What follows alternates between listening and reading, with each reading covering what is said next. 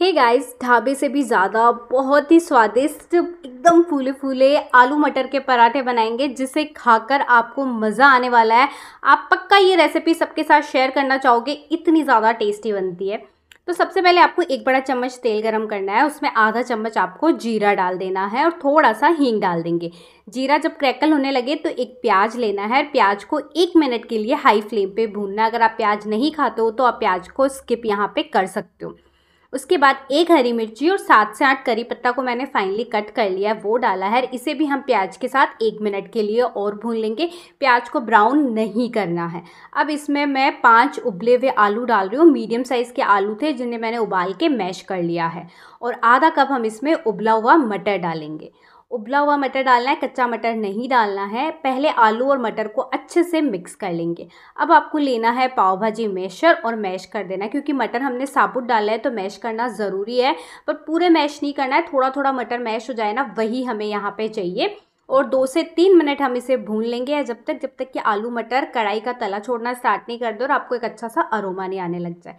अब इसमें एक चम्मच रोस्टेड जीरा पाउडर आधा चम्मच काला नमक, आधा चम्मच पुदीना पाउडर आधा चम्मच चाट मसाला, एक चम्मच गरम मसाला डालना है, आधा चम्मच कसूरी मेथी वन फोर चम्मच सौफ डालनी है, कच्ची सौफ आपको डालनी है, एक चम्मच के करीब आपको लाल मिर्ची पाउडर डालना है, आधा चम्मच आपको डाल देना है अमचूर पाउडर और नमक डाल देना है, डेढ़ चम्मच या फिर स्वाद के अनुसार नमक। सारी चीज़ों को अच्छे से मिक्स कर लेना है और इसे एक से दो मिनट हम और भून लेंगे ताकि सारे मसाले भी अच्छे से पक जाए।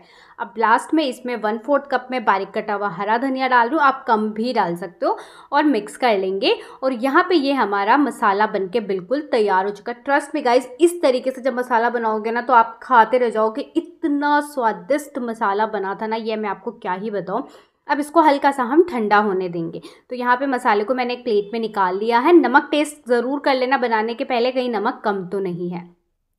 अब जो सिंपली मैंने रोटी के लिए आटा लगाया था ना, वही आटे की लोई ली है थोड़ा सा इसे बेल लिया है। नीचे की तरफ़ भी मैंने थोड़ा सूखा आटा लगाया है और एक बड़ा वाला चम्मच भर के मैंने इसमें मसाला डाला है।